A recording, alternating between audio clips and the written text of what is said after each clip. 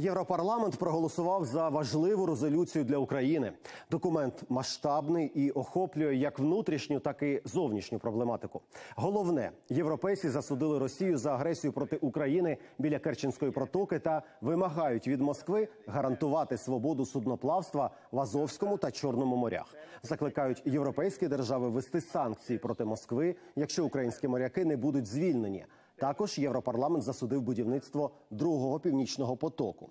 Щодо внутрішньоукраїнських справ в документі констатують проведення реформ. Проте зазначають, що деякі з них супроводжуються значним урізанням соціальних виплат і зростанням цін.